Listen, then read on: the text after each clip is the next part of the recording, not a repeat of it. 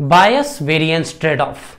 One of the must know concept for every data scientist and one of the famous interview question for almost all data science interviewers.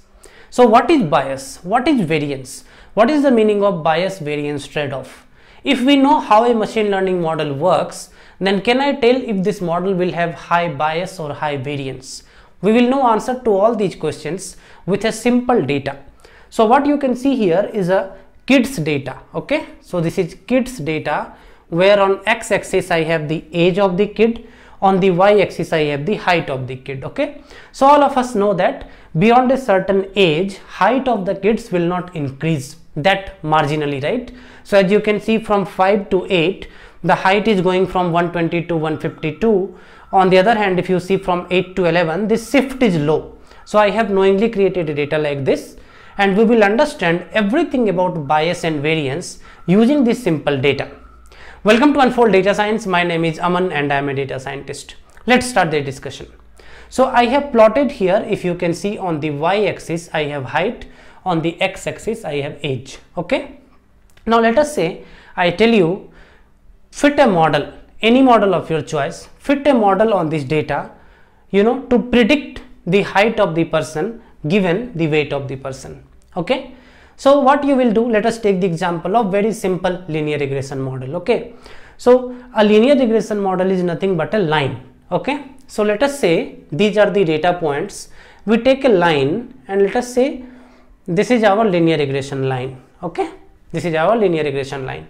Now linear regression line is nothing but an equation of the form mx plus c right? This is a line. So this line is nothing but y is equal to mx plus c right? This is in the simplest form equation of a line.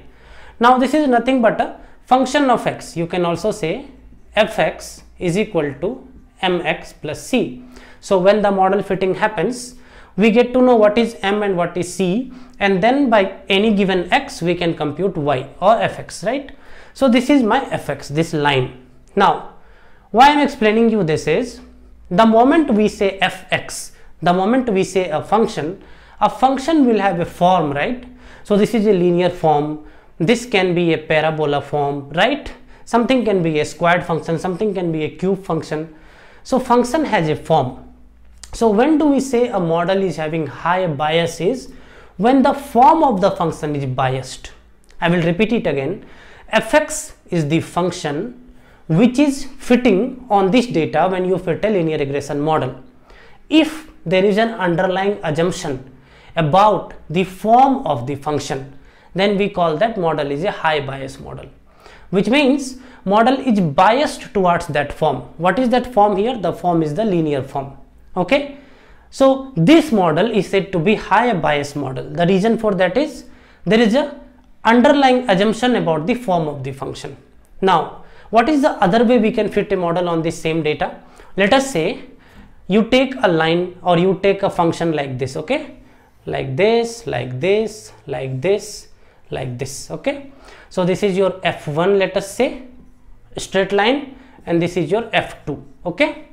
Now, if you see closely f2, f2 is just following the training data, which means f2 is not assuming any form. F2 is not necessarily linear. It is not assuming any form. It is just going as the training data is going. So whenever your function is too much following the training then your function or model is said to be a high variance model. Now what is the difference here guys?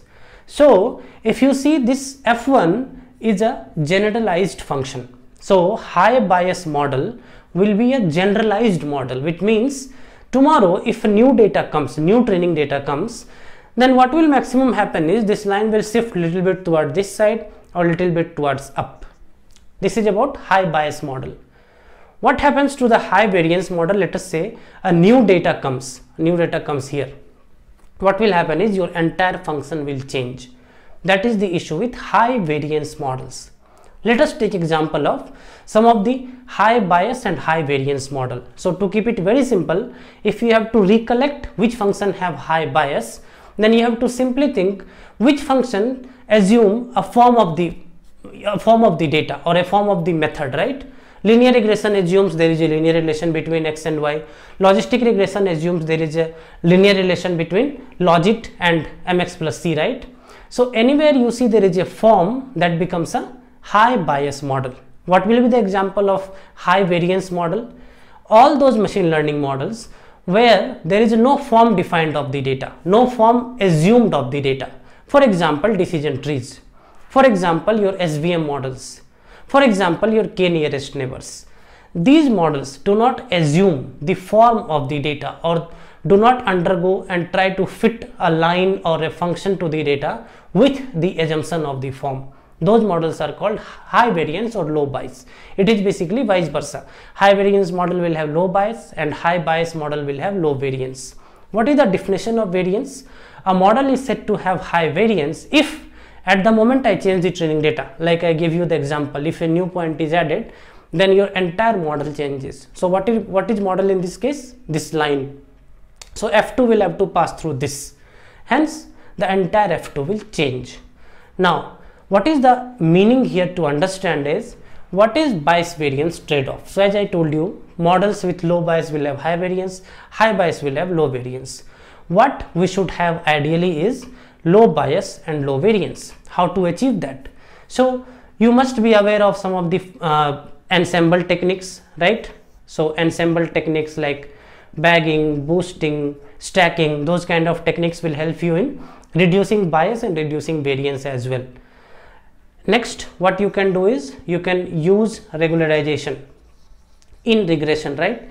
So if you have heard of lasso regression, Liss regression, those regression will help you in achieving a lower bias and lower variance in your model okay? Few more things to keep in mind here is high bias model will normally underfit your data.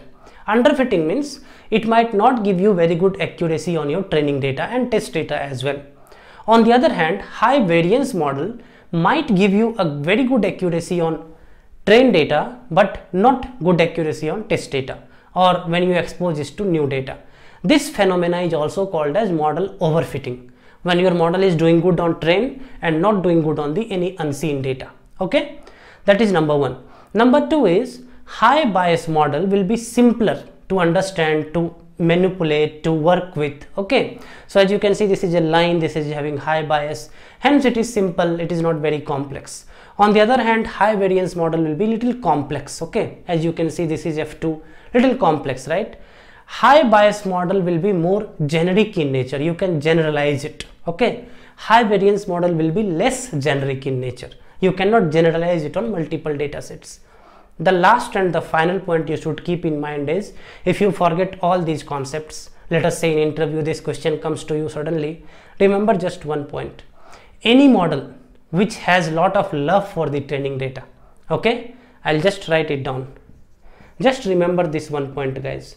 Lot of love for training data.